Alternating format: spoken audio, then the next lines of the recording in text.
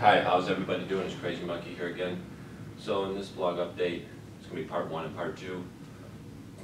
Part one, I'm gonna talk about right now about how um, the globalists, liberals, socialists, corporatists are basically creating a system where more and more cities are turning into what I call technocracies. And here in America, you know, the, our biggest technocracy would be San Francisco, San Jose, and then another one would be Washington DC, and then obviously um, Manhattan. Um, you know, there's quite a few, Seattle, but the biggest ones, you know, if you really think about it, I would say the biggest ones would be San Francisco, San Jose, and then Washington DC, and then New York would be probably number three. Um, and what a technocracy basically is, is is when you have a lot of government workers, bureaucrats, that's the bureaucracy, and then you have a lot of techies, that's the techie of the technocracy. And you put a lot of those jobs in the city center. And you do that to make the house prices a million dollars, two million dollars.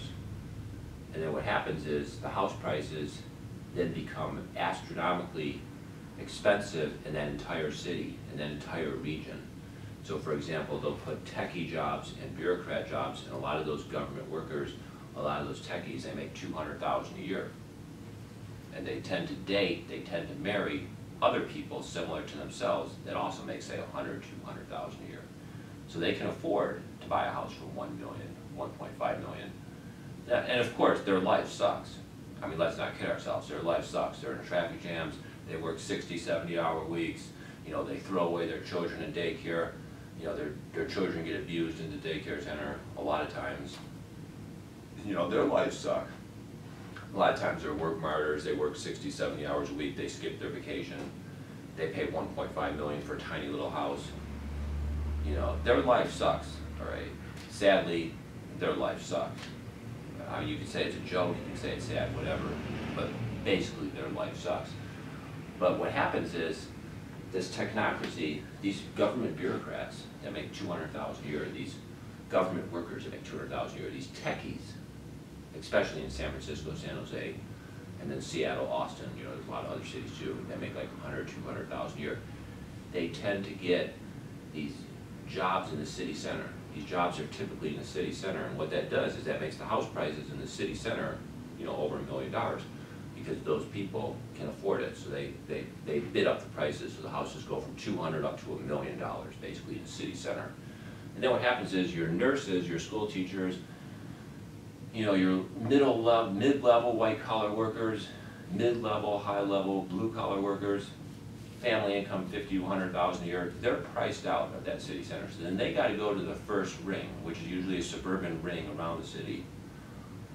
And they drive up the house prices in that area to say five hundred thousand, because a lot of those people in the mid-level, they make a family income a hundred twenty, hundred forty thousand family income, you know, you've got a nurse, a school teacher, you've got a plumber, a, a nurse, a, a plumber, a school teacher, you add it up, a lot of them, couples are making over a hundred thousand, you know, with both incomes, they're making a hundred, hundred twenty, hundred forty.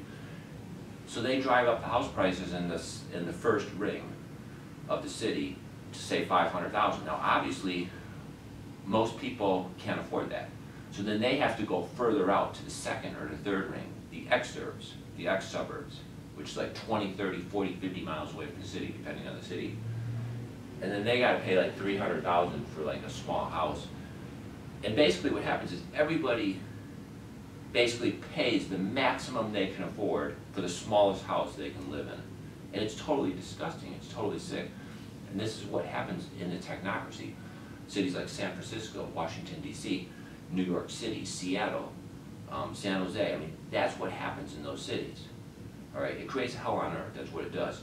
It creates hell on earth for pretty much everybody, but the filthy rich liberal leftists at the top. The filthy rich liberal leftists at the top, they make all the money. And pretty much everybody else is actually screwed over. Because what they do is they wind up paying maximum price for a house. They go into house poverty. They can't take nice vacations to Hawaii, Alaska, Europe, Switzerland, ski vacations. They can't do that because they're in house poverty. They're paying all their money for their mortgage payment, all their money in taxes, taxes, taxes. It's a total scam. It's a total ripoff. It's, it's just a total con game. And they're creating more and more of these technocracy cities.